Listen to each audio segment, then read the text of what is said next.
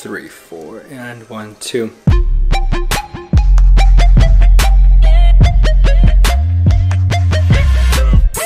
Hey guys, so as promised, I'm showing you a video. I'm doing this video to teach you how to do tilt shifting. It's something I've been doing for a long time and then I quit because I got all my Sigma lenses. And then recently I just got back this 50 millimeter 1.8 from Nikon that has the old aperture ring on it still. So I'm here with uh, Brielle. Brielle. I'm here with Brielle and I have her boyfriend filming all of this. Um, so do some portraits, some cool stuff, and I'll show you I'll show you how this turns out. All right, so first of all, when you get this lens, there's this little little red dot that it usually comes on, which is stuck at, if you go, it should be stuck like this at 22. Um, you gotta pop it off, turn it off, bring it to 1.8, have the lens off camera, turn in the back of my camera, I'm using a D750. I just turn on my live view mode and of course you can't see anything.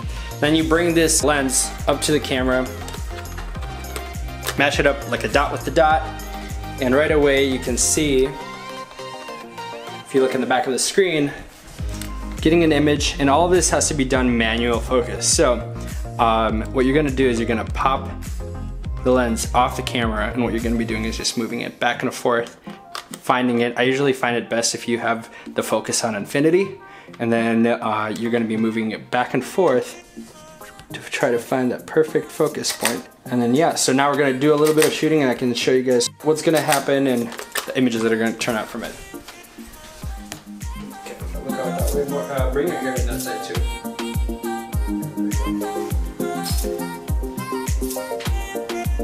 This is a 50, so Cool thing about this is once this is off your camera, the camera thinks there is no aperture. So it gives you a really uh, shallow depth of field, which makes the images super blurry.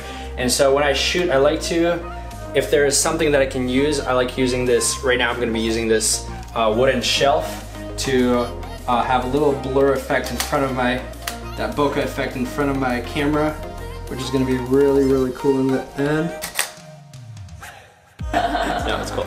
Um, yeah, that way you can have a bunch of different options and variations so your photos just don't look boring like straight on portraits. Try to look for leading lines or things that you can like this jar vase thing that we're gonna use and just kind of use it as like a prop as well to uh, place in front of the image, in front of the camera, sorry, and then that way it'll be adding some cool shots and angles to it. Good. Rotate, uh, hug yourself a little more. Yeah, there you go. Always think about lighting. Right now I have Brielle uh, posed in front of the window. That way, that way her face is lit up. Always, always when tilt shifting, especially if you're doing portraits and the portrait and the person is up close to you, make sure the eyes are in focus. Because if they're not in focus, uh, the image is not going to be as captivating and you're just going to lose attention of your people that you're trying to show this image to or whatever you're shooting. So, all right, so now we're gonna switch locations. We're gonna find some other light spots. Let's go. Now we are gonna uh, play with a little bit of light and shadow falling through the window. Look out the window. And again, this is a very cool way to just add something different to your photos. If you're always shooting just um, just with the prime, if you're shooting with the prime and you're always shooting at like a 1.8 or 1.4, whatever it is, whatever your f-stop is, this way you can get some more of those, uh, those juicy, juicy bokehs that you normally can't get just at a certain f-stop. And speaker. speaker down, speaker down. So as you can see, I'm just constantly, constantly moving my lens up and down away from it just a little bit just to find that perfect focus spot. And I'm constantly focusing, my main focus is the eyes and the face. And yeah, that's cool.